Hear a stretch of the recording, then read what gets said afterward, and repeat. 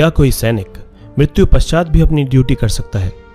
क्या किसी मृत सैनिक की आत्मा अपना कर्तव्य निभाते हुए देश की सीमा की रक्षा कर सकती है? आप सबको ये सवाल अजीब से लग सकते हैं। आप सब कह सकते हैं कि भला ऐसा कैसे मुमकिन है? पर सिक्किम के लोगों और वहाँ पर तैनात सैनिकों से अगर आप पूछेंगे तो वो कहेंगे कि ऐसा पिछले 45 सालों से लगातार हो रहा है। उन सब का मानना है कि पंजाब रेजिमेंट के जवान हरभजन सिंह की आत्मा पिछले 45 सालों से लगातार देश की सीमा की रक्षा कर रही है। सैनिकों का कहना है कि हरभजन सिंह की आत्मा चीन की तरफ़ से होने वाले हर खतरे के बारे में पहले ही उन्हें आगाह कर देती है।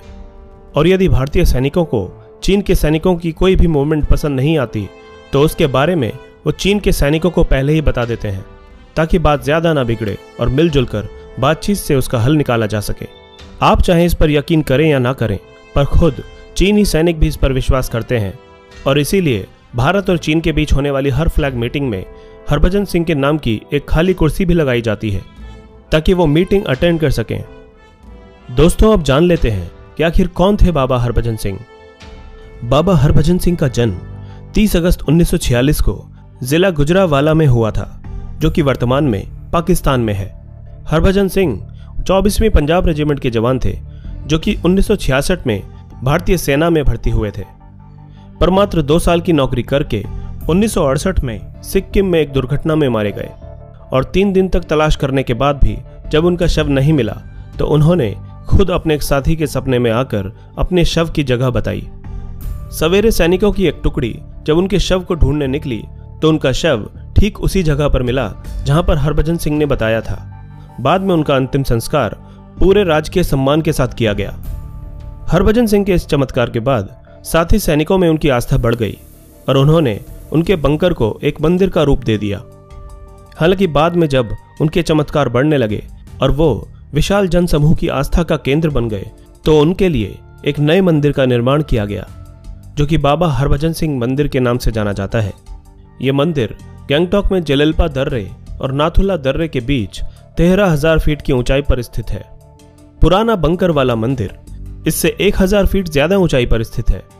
मंदिर के अंदर बाबा हरभजन सिंह की एक फ़ोटो और उनका सामान रखा है। बाबा हरभजन सिंह अपनी मृत्यु के बाद से लगातार आज भी अपनी ड्यूटी देते आ रहे हैं। इसके लिए उन्हें बाकायदा तनख्वाह भी दी जाती है। आज भी सेना में उनकी एक रैंक है। नियम अनुसार उनका प्रमोशन भी किया जाता है। यहाँ तक कि उन्हें कुछ साल पहले तक दो महीने की छुट्टी पर गाँव भी भेजा जाता था। इसके लिए ट्रेन में सीट रिज़र्व कराई जाती थी और तीन सैनिकों के साथ उनका सारा सामान उनके गाँव भेजा जाता था, तथा दो महीने पूरे होने पर फिर वापस सिक्किम लाया जाता था। जिन दो महीने बाबा छुट्टी पर रहते थे, उस दौरान पूरा बॉर्डर हाई अलर्ट पर रहता था, क्योंकि उस वक्त सैनिकों को बाबा की मदद नहीं मिल पाती थी। लेकिन बाबा का सिक्किम से जाना और वापस आना एक धार्मिक आयोजन का रूप लेता जा रहा था, जिसमें कि बड़ी संख्या में जनता इकट्ठी होने लगी थी। कुछ लोग इस आयोजन को अंधविश्वास को बढ़ावा देने वाला मानते थे। इसीलिए उन्होंने अदालत का दरवाज़ा खटखटाया।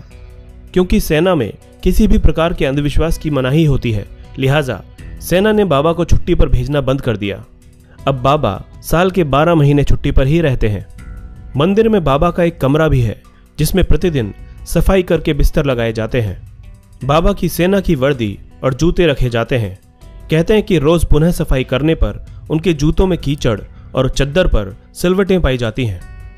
बाबा हरभजन सिंह का मंदिर, सैनिकों और लोगों, दोनों की ही आस्थाओं का केंद्र है।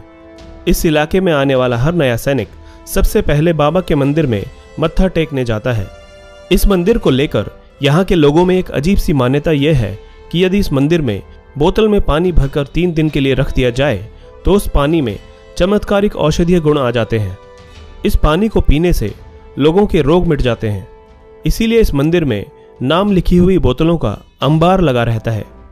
यह पानी 21 दिन के अंदर प्रयोग में लाया जाता है और इस दौरान मांसाहार और शराब का सेवन निषेध होता है। दोस्तों, इसी तरह की इंटरेस्टिंग और इन्फॉर्मेटिव वीडियोस देखने के लिए हमारे चैनल हिस्टोरिक हिंदी को आज ही सब्सक्राइब करें और बेल आइकन को दबाना ना भूलें।